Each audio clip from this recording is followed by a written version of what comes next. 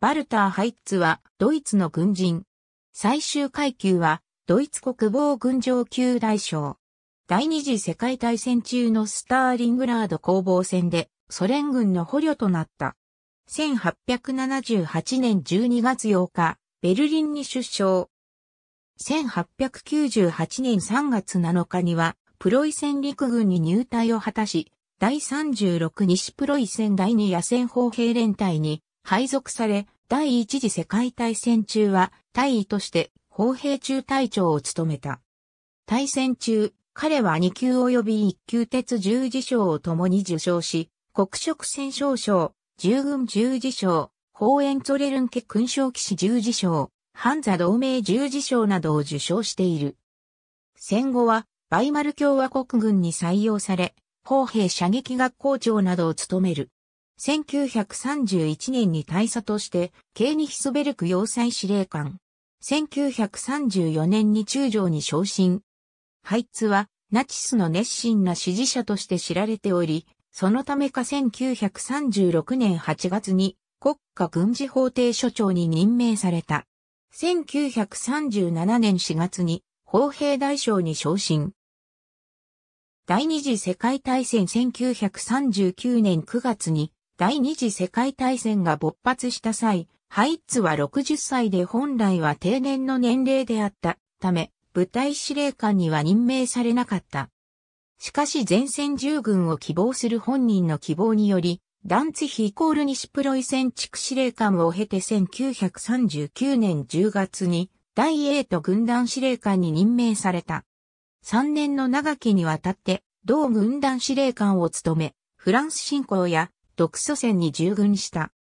この異例に長期の在任は国防軍最高司令部がハイッツを適任と見たためとも、高齢であるためこれ以上の活躍や昇進を避けたためとも考えられている。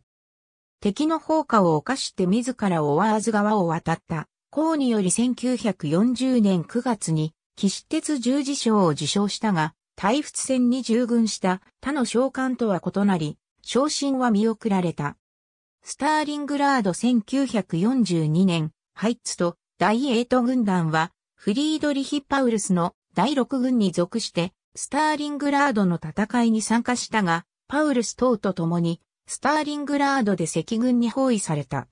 1942年12月21日に、白洋付騎士鉄十字章受賞。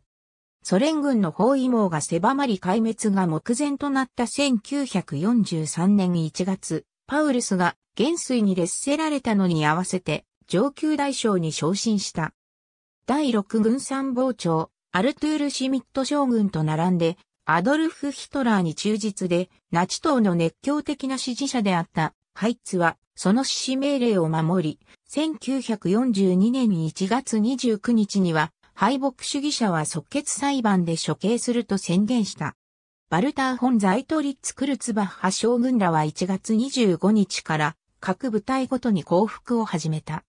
第6軍司令部降伏を控えた1月31日、数人のドイツ兵がこの命令の下で射殺されている。1月30日にはかつて辞退した上級大将への昇進を果たし、最後の一弾まで戦うと公言していたが、第6軍司令部が降伏するとパウルスと共に捕虜として捕らえられた。ハイツは、ザイトリッツやパウルスを指導者として、ソ連当局が組織させた自由ドイツ国民委員会及びドイツ商工同盟への参加を拒否したばかりか、その参加者に殴りかかろうとするなど、収容所に収監されても、なお忠実なナチ党員として知られた。1944年9月、モスクワの収容所にて、癌のため死去し、郊外のクラスノゴルスクに埋葬された。ありがとうございます。